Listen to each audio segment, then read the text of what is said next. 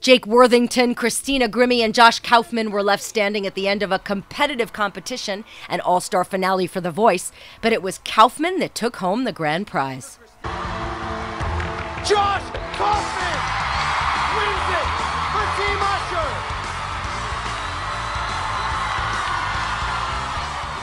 His win also signaled a win by Usher, who said at the beginning he was a sharper coach this time around. I got a lot of new things, new tricks, new ideas, and a different uh, type of focus. Artist development is something that I'm, I'm really uh, keen and uh, is a priority for me. So being able to come up with real creative ways to do it, I'm enjoying it. I don't really know what I'm to do with my team yet. i I'm still trying to figure out exactly what type of team I'm building. But I got some real killers, man, like incredible voices, and um, I'm, I'm hoping for a great year. The show featured Kaufman showing why he was king with a nice performance with Blurred Lines singer Robin Thicke. There you go. Said I gotta treat her right. Whoa, I gotta cherish her for life.